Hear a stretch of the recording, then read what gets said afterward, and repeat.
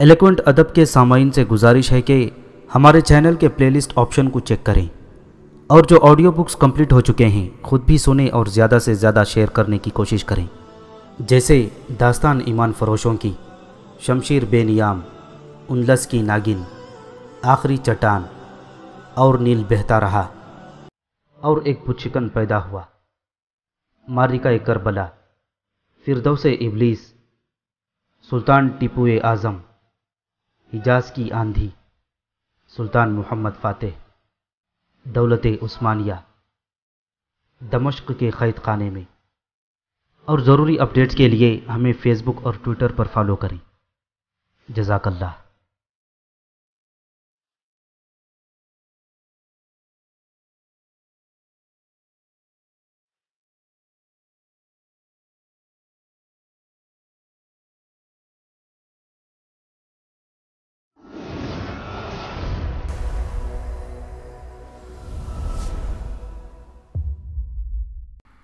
दूसरे दिन सुबह मैं फिर चल पड़ा।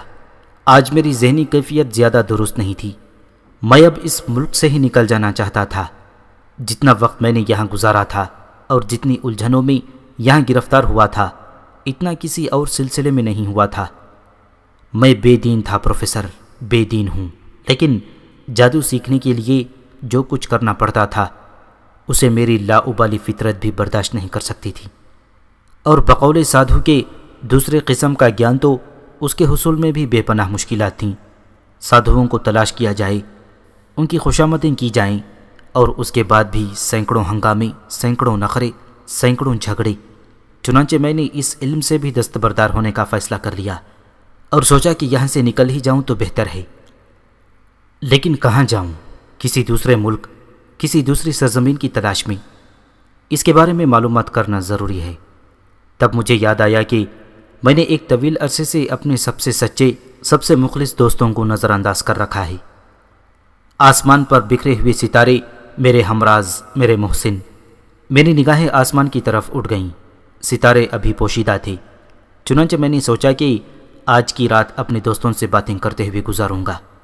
वो मेरे सच्चे हमदर्द हैं। यकीनन मेरा साथ देंगे।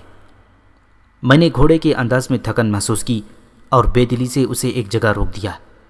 जैन खोली और उसे आज़ाद छोड़ दिया। खुद मैं एक पहाड़ी चट्टान से टेक लगाकर बैठ गया। अब मुझे सिर्फ़ रात होने का इंतज़ार था। मैं इस इलाके से दिल बर्दाश्ता हो गया था। तब अचानक पुष्ट पर मुझे किसी के कदमों की आवाज़ सुनाई दी और मैंने घूमकर देखा और उछल पड़ा। साधु प्रणामी की सूरत मेरे लिए अजनबी नहीं थी। वो होंटों पर मुस्कुराहट लिए मेरी जानब आ रहा था। बहरे सूरत, ये एक उम्दा इंसान था। और मैं उससे किसी हद तक मुतासर भी था। चुनाचे मैंने खड़े होकर उसका इस्तकबाल किया और प्रणामी मेरे नज़दीक पहुँच गया। कैसे हो बालक? उसने मुस्कुराते हुए पूछा। ठीक हूँ, तुम्हारा देश छोड़कर जा रहा हूँ। अरे कहाँ? क्या ये तुम्हारा देश नहीं है? मैंने शायद तुम्हें पहले भी बताया था, महाराज, कि मैं सारी धरती का इंसान हूँ। मेरी दुनिया महदूद नहीं है। बात मेरी समझ में नहीं आई, बालक। तुमने खुद ही कहा था करनामी महाराज क्या मैं आम लोगों में से नहीं हूँ। गलत तो नहीं कहा था। मेरा ज्ञान यही बताता है, तेरे जन्म कुंडली को तलाश करना मुमकिन है। मैंने बड़ी कोशिश की कि तेरे बारे में मालूम करूँ, परंतु मैं इस काम में नाकाम रहा। तब मेरे वीरों ने बताया कि तेरे सितारे आकाश के उन कोनों में छुपे हुए हैं, जो मनुष्य की निगाहों से ओझल हैं। और बालक जिनके सितारे मनुष्य ना देख सकें, वो देवता होते हैं, अवतार होते हैं, या ऐसे लोग होते हैं जिनके बारे में भगवान ने मनुष्य को बताना ठीक नहीं समझा। मैंने वही बात कह दी जो मुझे मालूम है। तुम्हारा ख्याल दुरुस्त है करनामी महाराज। मैं सदियों का इंसान हूँ, और जब मैं ज़िंदगी से थक जाता हूँ तो फिर सुकून की नींद अपना लेता हूँ। मुझे ना इंसानों से बैर है ना मोहब्बत। मैं तो इनके दरमियान आता हूँ इनके माहौल को, इनकी तहजीब को देखता हूँ और अपनी किताब मुरतब करता रहता हूँ। सबसे ज़्यादा मोहब्बत मुझे अपनी किताब के औराक से है, जो तारीख़ की सच्ची कहानी सुनाते हैं, जिसे मैं रकम कर रहा हूँ। मेरा मन कहता था कि तू महान है बालक। बिलाशुबा तेरे पास संसार के बहुत से आदर्श होंगे।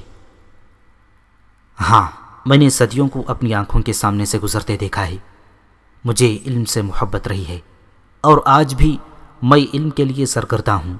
और शायद सदियों बाद भी, सदियों बाद के इंसान से कुछ सीख लेने का ख्वाहा हूँगा मेरे देश से तुम्हारा मन क्यों भर गया? बस यहाँ कुछ नहीं है। मैं यहाँ से आगे जाना चाहता हूँ। मैं ये देश छोड़ देना चाहता हूँ। ये उलझनों की सरजमीन है और मैं आज़ाद जहन का मालिक हूँ। और मनोरमा से बदला ना लोगे प्रणामी ने पूछा। नहीं, वो औरत मेरा क्या बिगाड़ सकती है? उसने मेरा क्या बिगाड़ा है? बस मुझे उस पर यही गुस्सा है कि उसने उन लोगों को हिला कर दिया है, जिनका थोड़ा बहुत ताल्लुक मुझसे था। लेकिन अब ये मेरा मामला नहीं है। मैं तो ये देश छोड़कर जा रहा हूँ। और यह हकीकत थी, प्रोफेसर, कि अचानक मेरे जहन में कुछ झंझलाहटों ने जन्म लिया था। मैंने वाकई सोचा था कि अब यहाँ रहना फजूल है। अगर फौरी तौर पर मेरे मतलब की कोई सरजमीन मिल गई तो फिर मैं सोना पसंद करूँगा। तवील और गहरी नींद। मेरे देश से ऐसे ना जा बालक, यहाँ भी बहुत कुछ है, तुझे बहुत कुछ मिलेगा। मैंने पहले भी कहा था कि अगर तू ज्ञान चाहता है तो मैं तुझे रास्ते दिखा सकता हूँ। आज भी मैं वही बात कह रहा हूँ। तुम इस देश के एक अच्छे इंसान हो करनामी मेरी किताब में तुम्हारा नाम एक अच्छे इंसान की हैसियत से दर्ज होगा। और अगर कभी किसी भी दौर में तारीख की ये सच्ची किताब इस दौर के इंसानों के सामने आई तो वो उसमें तुम्हारा नाम ज़रूर देखेंगे। मैं उठ गया और अब मुझे सितारों की आमद का भी इंतज़ार नहीं था। मुझे समंदर की तलाश थी। जहन पर जो कुछ सवार हुआ था, उसे मैं फौरी तौर पर पूरा कर देना चाहता था। प्रणामी ने मुझसे बहुत सी बातें की, लेकिन मैंने उस पर कोई तवज्जो नहीं दी और चलता रहा। रास्तों से बेनियाज मुझ पर नींद सवार थी। और फिर जब समंदर की चंघाट सुनाई दी तो मुझे यूँ लगा, जैसे ये मेरे लिए माँ की आगोश हो। मौजें धीमे सुरों में कोई लोरी गुनगुना रही हूँ। मेरी आँखें एक दूसरे से जुड़ने लगीं। बमुश्किल मेरे कदम मुझे समंदर तक ले गए, और फिर मैंने खुद को समंदर के नरम बिस्तर पर गिरा दिया, गहरे और गहरे समंदर की तरफ़, और फिर मैं दुनिया से बेखबर हो गया। मौजें मेरी मुहाफिज बन गईं। न जाने कब तक के लिए। समंदर, माँ की नरम आगोश की मानिंद। मैं माँ और बाप के लफ्ज़ से आशना ज़रूर हूँ, प्रोफेसर। लेकिन मुझे इन लफ्ज़ों की दिलकशी और इनके साथ उभरने वाले तस्वुर से नावाकिफियत है। हाँ मैंने लोगों के जज्बात और अपने मुशाहिदे से माँ का एहसास किया है। मैंने तकलीफ़ से बिलकते हुए बच्चे को माँ की आगोश में पुरसकून होते देखा है। इसलिए सुकून की जगह के लिए मैं माँ की आगोश के लफ्ज़ को सबसे मौसर और जाम समझता हूँ। मेरी इस तवील कहानी से तुमने अंदाज़ा लगाया होगा कि अदवार में मुझे कितनी बड़ी कुदरत हासिल रही है। मैंने किस तरह हर माहौल को ताबे किया है।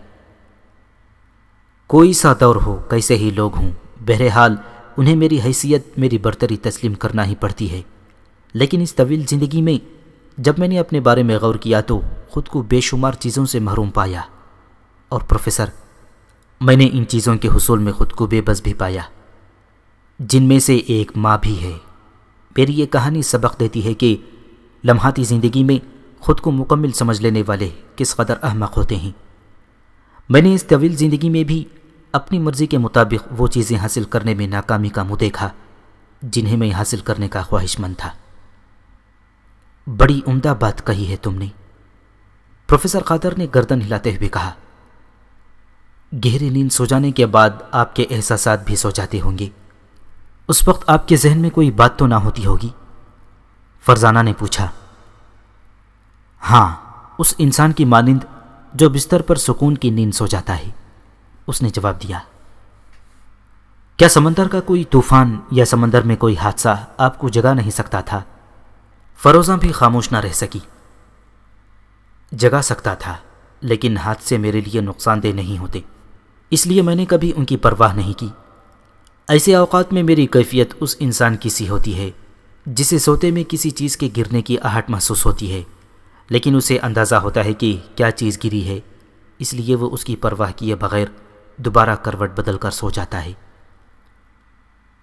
लेकिन हमारे मसले में तो ऐसा नहीं होता, फरोज़ा ने कहा। मैं इंसानों की एक अलहदा किस्म में ज़रूर हूँ, लेकिन मेरी ज़रूरियात वो तुमने दूसरे इंसानों से मुख्तलिफ़ नहीं पाई होंगी। मसलन, खुराक। ये हकीकत है कि अगर खुराक ना मिले, तब भी मैं ना तो मजमहल हूँगा और ना मेरी कैफियत ख़राब होगी। लेकिन खुराक के हसूल के बाद जो सुकून मिलता है, उसे तुम मेरी ज़रूरत समझ सकते हो, प्रोफेसर। इसी तरह मेरा बदन चंद बातों से जिला पाता है और दुनिया की तरक्की ने मुझे भी बहुत कुछ दिया है। मसलन, अपने जिसम की तरोताज़गी के लिए मैंने इस बार ऐसी ईजाद की थी जिससे मेरा जिसम मुतासर ना हो। तुम दुरुस्त ज़ुबान में समझो, मुझे इल्म हो गया कि अब जिस सदी में सो रहा हूँ, उसके बाद की सदियों का इंसान बेहद ख़तरनाक होगा। ऐसी जहरीली गैसों पर काबू पा लेगा, जो दूर दूर तक तबाही फैलाएँगी। बावर्दी क़ुत के अलावा वो बहुत सी क़ुतों को ताबे कर लेगा, और इस तरह ख़तरात बढ़ जाएँगे। चुनाचे मैंने अपने बदन को उन ख़तरात से महफूज किया था। ओह, ये बात है। खादर ने गर्दन हिलाई। हाँ प्रोफेसर। तो तुम बता रहे थे कि समंदर की आगोश में सोई थी। फरोज़ा बोली हाँ और मैंने उसे माँ की आगोश से तजबीह दी थी। वो मुस्कुरा कर बोला, हमें याद है, फरजाना ने कहा। और माँ की आगोश भी याद है, उसने पूछा। ओह, वो नहीं, फरजाना ने जवाब दिया। ये बच्चियाँ भी इस लम्स से नामानूस हैं। मेरी बेवन इनके बचपन में ही इंतकाल कर गई थी। प्रोफेसर ने जवाब दिया,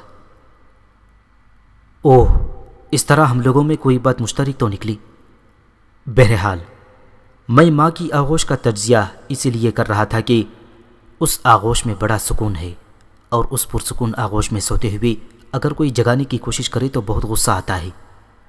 मुझे कोई अंदाज़ा नहीं था कि समंदर में सोते हुए मुझे कितना अरसा गुजर चुका है। मेरी नींद इस कदर गहरी थी कि मुझे उस दौरान होने वाले वाक़यात भी याद नहीं रहे। मैं तो उस वक्त जागा जब न जाने कैसे धमाके मेरे कानों में गूंज रहे थे। मेरी कैफियत ऐसी थी, जैसे किसी को कच्ची नींद से जगा दिया जाए। मैंने ख्वाबीदा आँखों से इर्द गिर्द के माहौल को देखा और फिर मुझे हैरत हुई। न जाने मैं किसी समंदरी मखलूक के दरमियान था या पागलों की बस्ती में मैंने महसूस किया कि मैं किसी ऊँची जगह पर हूँ और मेरे गिर्द बेशुमार लोग खड़े हुए थे। रंगारंग लिबास पहने, माथों पर तिलक लगाए।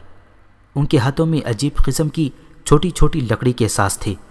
जिस चीज़ से धमाके पैदा हो रहे थे, वो ढोल की आवाज़ थी, जो सोते हुए जहन पर ऐसी ही कारी जरबें लगा रही थीं, जैसे धमाके हो रहे हों। लेकिन मैं उन गधों के हाथ कहाँ से लग गया? और इर्द गिर्द के माहौल से ये भी नहीं एहसास होता था कि ये समंदर है। पता तो ये चलता था कि मैं अभी तक उन्हीं आर्याओं की सरजमीन पर था, जहाँ से मैंने परेशान होकर निकल जाने का अहद किया था। उनके लिबासों और पेशानी के निशानों से इस बात का अंदाज़ा होता था कि वो नस्लन और मजहबन हिंदू हैं। बाद में मैंने हालात का मज़ीद जायज़ा लिया और मुझे पता चला कि एक ज़मीन से कदरे ऊँची मिट्टी के चबूतरे पर हूँ। मेरे चारों तरफ़ खुशबुएँ थीं, जिनका धुआँ मुझे किसी हद तक नागवार महसूस हुआ था। लेकिन आखिर ये क्या लघवियत है? मैं उठकर बैठ गया और मेरे उठते ही बेशुमार आवाज़ें गूंज उठीं। हे भगवान हरे हरिशंकर हरिओम और फिर शंख और मजीरे बजने लगे। कान फाड़ देने वाली आवाज़ें चारों तरफ़ से उभर रही थीं और उनके साथ ही लोग चीख रहे थे। जाग उठा जाग उठा धन्यवासियों। उपरम प्रधान जाग उठा। चमत्कार हो गया। धन्यवाद, चमत्कार हो गया। जाग उठा। भाग हमारे, अब चिंता की कोई बात नहीं। मैं उन आवाज़ों को सुन रहा था और सोच रहा था कि अपनी दानिश में उन अहमकों ने कोई कारनामा अंजाम दिया है, लेकिन उन्होंने मेरी नींद ख़राब कर दी है। मुझे यकीन था कि सोते हुए मुझे अभी ज़्यादा वक्त नहीं गुजरा है। खैर, देखूँ तो सही, उन गधों ने क्या चक्कर चलाया है। मैं खामोशी से बैठा उन्हें देख रहा था। औरतें भी थीं और मर्द भी थे। खूबसूरत हिंदू औरतें मुझे हमेशा से पसंद थीं। नज़र आने वालियों में भी बहुत से खूबसूरत चेहरे ऐसे थे, जिन्होंने मेरी तवज्जो अपनी तरफ़ मबसूल कर ली। उनकी तादाद काफ़ी थी। बहरहाल, इस वक्त तो मैं अपने इस तरह जाग जाने से ज़्यादा खुश नहीं था, इसलिए पूरी तरह उनके चेहरों का जायज़ा नहीं ले सका था। मैं तो उन लोगों को देख रहा था, जो मेरे इस तरह जाग जाने से बेहद खुश नज़र आ रहे थे। न जाने क्यों, अब तो उनसे मालूम ही करना पड़ेगा। चुनाचे में चबूतरे पर खड़ा हो गया। लोग मुझसे सहमे हुए भी थे और उनके चेहरों पर अकीदत भी नज़र आ रही थी। मैंने बेजारी से उन्हें देखा और फिर उन्हें करीब आने का इशारा किया। दो तीन बूढ़े आदमी हाथ जोड़े मेरे नज़दीक पहुँच गए। उन्होंने मुझे प्रणाम किया। क्या बात है, क्यों जमा हुए हो तुम लोग? मैंने भारी आवाज़ में पूछा। हे अपरम प्रधान हम तेरा स्वागत करते हैं। हम अपने दरमियान तुझे पाकर बहुत खुश हैं। हम जानते हैं कि तू हमारे सारे कष्ट दूर कर देगा। हम तेरा स्वागत करते हैं, भगवान। ओह, मगर तुम मुझे निकाल लाए कहाँ से? सत सागर से, महाराज सत सागर से। वो हाथ जोड़कर बोले, क्या फजूल बकवास लगा रखी है? किसी ढंग के आदमी को बुलाओ। मैंने झल्लाए हुए अंदाज में कहा और वो सहमे हुए अंदाज में पीछे हट गए और एक दूसरे की शक्ल देखने लगे। तब उनके अकब से एक शख्स आगे बढ़ा और मेरे सामने पहुँच गया। ये एक दराज कामत बूढ़ा था। उसकी दाढ़ी काफ़ी लंबी थी और लंबे लंबे बाल जुटाओं की शक्ल में बिखरे हुए थे। उसने भी मेरे सामने अकीदत से हाथ जोड़े और फिर दूसरे लोगों से बोला, देखते नहीं हो नादियों, महाराज गहरी नींद से जागे हैं। अभी से इन्हें परेशान कर रहे हो। जाओ, इन्हें आराम करने दो। वो फिर तुम्हें दर्शन देंगे। बूढ़े की आवाज़ वज़न रखती थी। अकीदतमंद छटने लगे और थोड़ी देर के बाद वो वहाँ से चले गए। सिर्फ़ बूढ़ा ज़यीफ मेरे सामने खड़ा रहा था। ये कौन सी जगह है?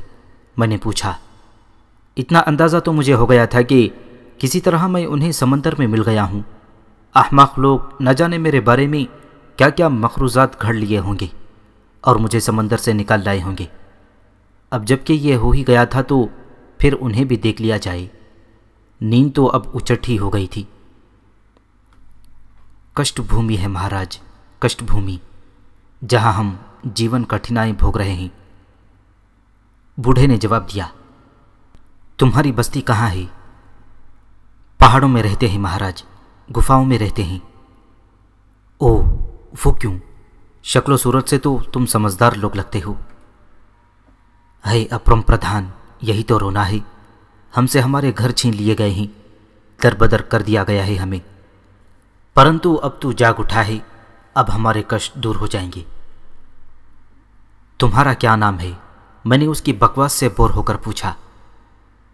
हरिदास। दास का नाम हरिदास है। तो हरिदास, तुमने मुझे गहरी नींद से जगाया है। क्या तुम्हारे पास कोई ऐसी गुफा नहीं है जहाँ मेरे लिए जगह बन सके? मैं अभी तुम्हारी कुछ नहीं सुनूँगा। पहले तुम्हें मुझे होश में लाने के लिए कुछ करना होगा। जुग जुग भगवान, महाराज चंद्रगुप्त ने खुद आपके लिए एक गुफा खाली कराई है। पधारो महाराज, पधारो। उसने इस्तकबालिया अंदाज में कहा और मैं उसके साथ चल पड़ा।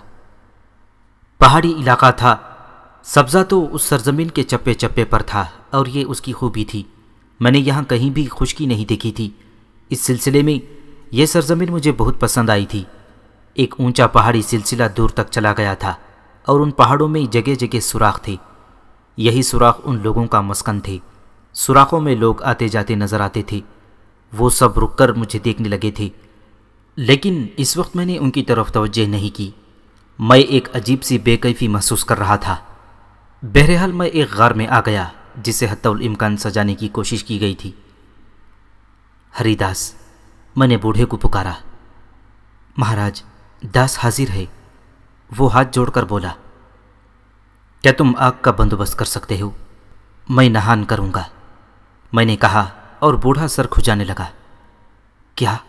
महाराज गर्म पानी से स्नान करेंगे? उसने पूछा। नहीं देखती हुई आग से। तुम्हारे यहाँ लकड़ियाँ तो मिल जाती होंगी।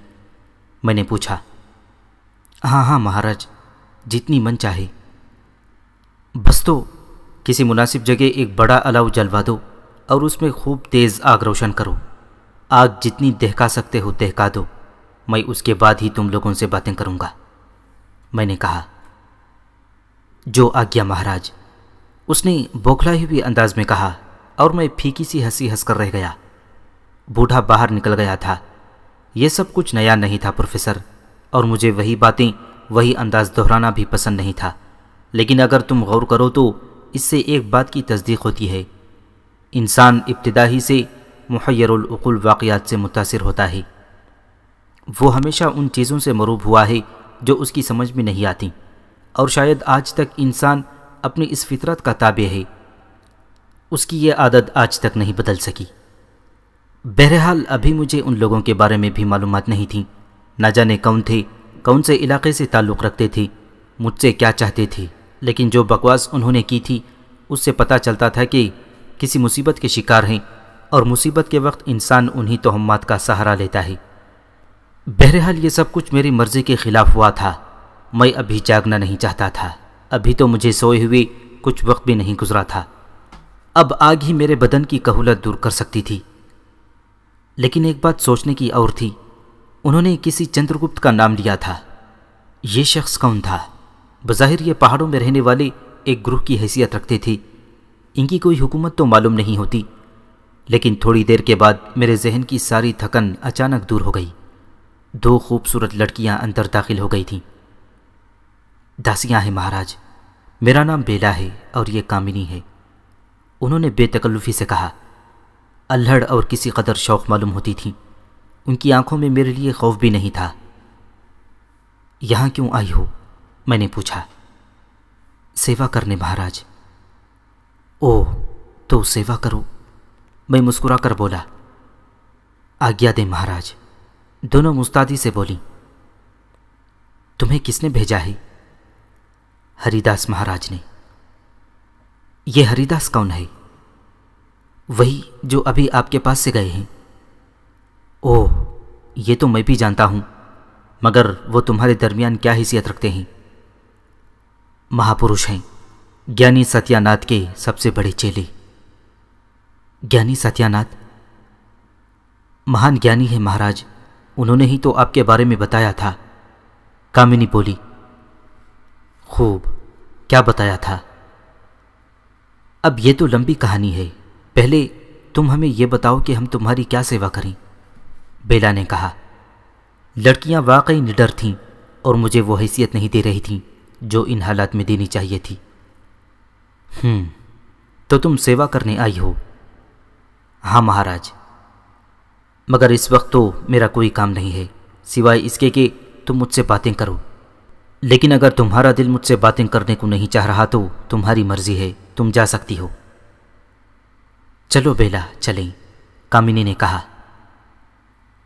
अरे तू जा, तुझे तेरा बेदी याद आ रहा होगा। मेरा कौन है? मैं तो महाराज से बातें करूँगी। बेला ने शरारत से कहा बेदी कौन है? मैंने दिलचस्पी से पूछा। कामिनी के चेहरे पर शर्म की सुर्खी फैल गई। प्रेमी है इस ससुरी का। प्रेम जल में फंसी हुई है बेचारी। बेला, तू बाज नहीं आएगी कामिनी ने उसे आँखें दिखाई। अरे वाह, कोई झूठ थोड़ी बोल रही हूँ महाराज। भगवान की सौगंध आधी रात को उठकर उसके पास जावे है। बेला ने हँसते हुए कहा, और वो एक तरफ़ सरक गई। हाय राम, लाज नहीं आवे है तुझे? कामिनी ने दोनों हाथ चेहरे पर रख दिए। एलो महाराज, इसमें लाज की क्या बात है? कोई बात है? बिल्कुल नहीं, मैंने दिलचस्पी लेते हुए कहा। समझाओ इसे। तुम भी तो इसके बारे में बताओ कामिनी। क्या ये किसी से प्रेम नहीं करती? मैंने पूछा। अरे हम ऐसे गुड़ ही नहीं, जिसमें चोंटे लगीं। बेला ने कहा, क्या मतलब? ये बड़ी कठोर है महाराज। बेचारे सथु ने इससे प्रेम बोल कही। इसने रात को उसे बुला लिया और दूसरी तरफ़ उसके चचा को भी। उसे छुपाकर इसने सतु से कहा कि वो फिर से कही क्या कह रहा था। बस फिर क्या था? सत्थू ने प्रेम बोल कही और उसके चचा ने फटे हुए जूते से उसकी वो पिटाई की कि बस देखते रहो। कामिनी ने जवाब दिया मैं बेसाख्ता हंस पड़ा था। उन सहमे सहमे चेहरों से मुझे वहशत हो रही थी। लेकिन इन बेतकल्लुफ लड़कियों की थोड़ी सी देर की गुफ्तगु ने मेरे जहन को शगुफ्तगी बख्शी थी। अच्छा कामिनी, तुम जाओ, मैं बेला से बातें करूँगा। भगवान करे, ये तुम्हारे प्रेम जाल में फंस जाए। कामिनी उसे कोसती हुई बोली और मुँह बसोरती हुई बाहर निकल गई। बेला कह कह लगा रही थी। मैं खामोशी से उसे देख रहा था। और फिर एक बार मेरे चेहरे को देखकर वो एकदम संजीदा हो गई। हाय राम, आप महाराज, आप नाराज़ तो नहीं हुए? क्यों? इसमें नाराज़ होने की क्या बात है? मैंने कहा और वो फिर हंस पड़ी। बस मुझे तो नहीं मालूम, मगर दूसरे लोग तुम्हें न जाने क्या क्या समझ रहे हैं। हरिदास जी तो तुम्हारे नाम से काँप रहे थे। हमें बहुत समझाया कि हम तुम्हारी सेवा बड़े मन से करें। अगर अपरम प्रधान नाराज़ हो गए तो पूरी आबादी पर कष्ट आ जाएगा। तुम बताओ महाराज, ऐसा होगा तो नहीं? उसने मासूमियत से सवाल किया। नहीं होगा, लेकिन एक शर्त पर। शर्त? कैसी शर्त महाराज? उसने पूछा। मैं तुझसे जो कुछ पूछूँगा, वो मुझे बता मैंने कहा। बता दूँगी, पर मुझे बैठने की आज्ञा तो दो खड़े खड़े थक गई हूँ। उसने कहा और मैंने उसे बैठने की पेशकश कर दी। वो इत्मीनान से ज़मीन पर बैठ गई और फिर बोली, अब पूछो। पहले तू अपने बारे में बता। क्या बताऊँ अपने बारे में? तू कौन है? अरे बता तो दिया है। ऊँचा सुनते हो क्या? मेरा नाम बेला है। धनी राम की बेटी हूँ। तुम्हारे पास इसलिए भेजा गया है कि तुम्हारी सेवा करूँ, ताकि तुम मुझे आशीर्वाद दो और मेरे नसीब अच्छे हों और हमारे कष्ट भी दूर हों। ओह, क्या कष्ट हैं तुम्हारे? तो तुम्हें नहीं मालूम। अरे, हम सदा से इन पहाड़ों में थोड़ी रहते हैं। तो फिर, हम गुमदाह देश के वासी हैं। महाराज पद्मानंद जी ने हमें दरबदर कर दिया है। महाराज चंद्रगुप्त कोशिश कर रहे हैं कि राजा पद्मानंद से रन करें और राजधानी छीन लें। ओह चंद्रगुप्त कहाँ है? कहीं गए हुए हैं। अब सारी बातें तो हमें मालूम नहीं। उसने इन बातों से उकताते हुए कहा, खूब, मेरे बारे में क्या जानती हो? लो, तुम्हारे बारे में मैं क्या जानूं महाराज? उसने आँखें नचाते हुए कहा और मैं उसकी शक्ल देखने लगा। दरकीकत इस अहमक सी लड़की से मुझे इससे ज़्यादा कुछ नहीं मालूम हो सकता था। शादी हो गई तेरी? मैंने पूछा, देखो देखो, ऐसी बातें मत करो। इसलिए नहीं कि मुझे शर्म आवे है, बल्कि मैं तो शादी करूँगी ही नहीं। मैं किसी के नखरे वखरे नहीं उठा सकती। मैंने माताजी से पहले ही कह दिया था, अरे वाह, एक तो शादी करो, ऊपर से पति देव के नखरे उठाओ। यूँ ऐंठते हुए आते हैं, जैसे लंका जीत कर आए हों। फिर उनके चरण धुलाओ, उनके लिए भोजन परोसो। और जब वो भोजन ठोस रहे हों तो बैठकर उन्हें पंखा झलो। जैसे स्वर्ग का ठेका उन्होंने ही ले रखा हो। उसने इस अंदाज में कहा कि मैं बहुत महजूज हुआ। ज़बरदस्ती जाग जाने की आधी कोफ्त उस लड़की ने दूर कर दी थी। तो तू शादी नहीं करेगी? मैंने लुत्फ लेते हुए कहा। ना महाराज, भगवान ना करे। हाय, मैं तो कहती हूँ कि वो हत्यारा कोड़ी ही हो जाए जो मुझसे शादी करने आई बेला दांत पीस कर बोली प्रेम भी नहीं किया बेला। लो, प्रेम करके क्या करूँ? किसी से प्रेम करूँ तो फिर वो शादी के लिए कहेगा, तुम नहीं जानते महाराज, ये मर्द बड़े ही नीच जात हुए हैं। जब प्रेम करते हैं तो ऐसी बातें करें ही, जैसे जीवन भर चरण धो धो कर पियेंगे। और जब उनकी बात मानकर शादी कर लो तो बस, सारा प्रेम भूल जावे हैं। ना महाराज, मैं प्रेम व्रेम के चक्कर में ना पड़ूं। बड़ी अच्छी लड़की है तू। मैंने गहरी सांस लेकर कहा, उसकी बातों ने मुझे बहुत महसूस किया था। अब हम जाएँ महाराज, कोई काम हो तो बताओ। कोई काम नहीं है बेला, बस तुम आती रहना। हाँ हाँ आएँगे, जयराम जी की। उसने कहा और बाहर निकल गई। मैं उसकी बातों पर देर तक मुस्कुराता रहा। प्यारी लड़की थी। बहरहाल अब उन लोगों ने मेरी नींद तो खराब कर ही दी थी। बेला ने जो कुछ बताया था वो नाकाफ़ी था, लेकिन इससे ज़्यादा मैं उस लड़की से कुछ मालूम नहीं कर सकता था। यह तो साफ़ ज़ाहिर था कि ये लोग मुझसे किसी किस्म की मदद चाहते हैं, और चक्कर वही था जो पहले भी पेश आ चुका था। बहरहाल, इस दुनिया में तोहमत को बड़ी हैसियत हासिल थी। इन लोगों का भी कोई ऐसा ही सिलसिला होगा। फिर हरिदास वापस आ गया। आग जलवा दी है महाराज, पर आप स्नान कैसे करेंगे? आओ, मुझे वहाँ ले चलो। मैंने कहा, और हरिदास के साथ बाहर निकल आया। पहाड़ी में बेशुमार जगहें ऐसी थीं, जहाँ आग रोशन की जा सकती थी। काफ़ी दूर पर एक पहाड़ी कटाव में मैंने शोले बुलंद होते हुए महसूस किए। बहरहाल, अभी यहाँ कोई तमाशा दिखाना मकसूद नहीं था। मैं तो सिर्फ़ अपने आप को दुरुस्त करना चाहता था। चुनाचे मैंने किसी तरफ़ कोई तवज्जो नहीं दी, और शोलों के नज़दीक पहुँच गया। हरिदास के अलावा चंद अफराद और भी थे जो आग भड़काने में मसरूफ़ थी। शोले काफ़ी जवान हो चुके थे। सुनो, मैंने हरिदास से कहा, आज्ञा महाराज, मेरे लिए कपड़े तैयार रखो। मगर भगवान, आप हरिदास बौखला कर बोला हाँ क्या कहना चाहते हो? मेरी समझ में आपका स्नान नहीं आया। परेशान मत हो हरिदास, बस मेरे लिए कपड़े मंगवा लो। मैं अभी नहा कर आता हूँ। मैंने कहा, और फिर मैं शोलों की जानब बढ़ गया। और जब मैंने आग में कदम रखा तो अपने पीछे बहुत सी चीखें सुनी और मेरे होंठों पर मुस्कुराहट फैल गई। और जब मैंने आग में कदम रखा तो अपने पीछे बहुत सी चीखें सुनी और मेरे होंठों पर मुस्कुराहट फैल गई। आग से सब वाकिफ हैं और सब इससे खौफजदा रहते हैं। और कैसी अनोखी बात है कि यही आग मेरे मजमहल बदन को चुस्ती बखशती है। शोले मेरे बदन का इस महलाल दूर करने लगे। आग की लतीफ़ हरारत मेरे जिसम से नींद का खुमार दूर करने लगी और आहिस्ता आहिस्ता मेरी जवानी फिर से लौट आई। मैं आग के शोलों को अपने बदन पर मल रहा था। खुद मेरे अपने बदन का लिबास जल चुका था। बालों ने आतिशी रंग इख्तियार कर लिया था। और जब खूब तबीयत सैर हो गई तो मैंने बाहर का रुख किया और ये देखकर मेरे होंठों पर मुस्कुराहट आ गई कि बाहर हसब मामूल एक जम गफ़ीर था। मर्द औरतें, बच्चे, बूढ़े, सब हैरान परेशान खड़े थे। और फिर जब मैं बाहर निकला तो वही हंगामे शुरू हो गए, जो मेरे लिए गैर मानूस नहीं थे। हरिदास भी मौजूद थे, लेकिन उन्होंने लिबास का कोई बंदोबस्त नहीं किया था। ये बात उनकी अकल में ही नहीं आई थी कि इन शोलों से कोई जीता जागता इंसान बरामद होगा। वो तो बस मुँह फाड़े खड़े थे। हरिदास, मैंने उन्हें पुकारा। महाराज अपरम प्रधान की जय। बोलो रे, बोलो अपरम प्रधान की जय। बूढ़े हरिदास ज़मीन पर औंधा गिर पड़ा। उसकी देखा देखी दूसरे लोग भी सजदे में गिर पड़े थे। अरे भाई, मुझे कपड़े तो दे दो। क्या तुम मेरे लिए कपड़ों का बंदोबस्त भी नहीं कर सके?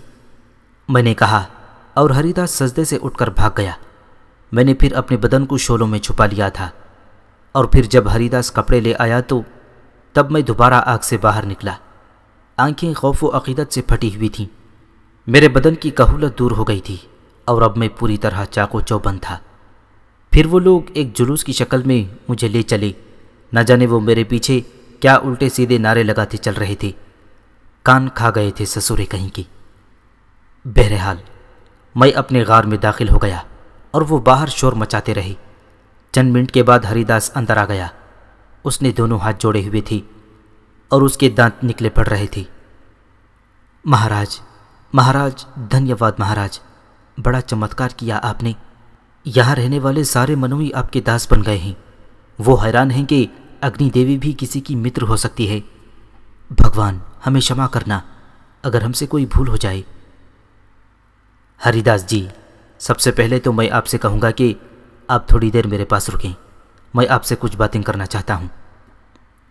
मैंने तंजिया अंदाज में कहा, अवश्य महाराज, अवश्य। हरिदास तो आपका दास है। बस तो बैठ जाओ, मैंने कहा, और वो ज़मीन पर बैठ गया। भगवान, बाहर जो लोग खड़े हैं, वो सब आपके पुजारी हैं। वो आपके दर्शन करना चाहते हैं। अभी मैं इतनी दूर से आया हूँ और वो सब मेरे पीछे पीछे, अब दर्शन की क्या ज़रूरत है? तुम कल सुबह उन्हें बुला लेना। जो आज्ञा महाराज, हरिदास ने कहा, और फिर मुझसे इजाज़त लेकर बाहर निकल गया। थोड़ी देर के बाद वो वापस आया तो शोर ख़त्म हो चुका था, और शायद वो लोग वापस चले गए थे। हरिदास पहले के से अंदाज में ज़मीन पर बैठ गया, और मैं उसकी तरफ़ देखने लगा। मैं तुमसे मालूम करना चाहता हूँ, हरिदास कि ये सब क्या चक्कर है? कौन सा चक्कर, भगवान? तुम मुझे इब्तदा से बताओ कि तुम मुझे कहाँ से लाए हो? और उस चबूतरे पर क्या हो रहा था? ओह, फिर तो बहुत दूर से बताना पड़ेगा, हरिदास ने सर हिलाते हुए कहा। हाँ उतनी ही दूर से बताओ, ताकि मेरी समझ में आ जाए। क्या आप महाराज चंद्रगुप्त के बारे में भी नहीं जानते? नहीं भाई, मैं कुछ नहीं जानता। मैंने बेजारी से कहा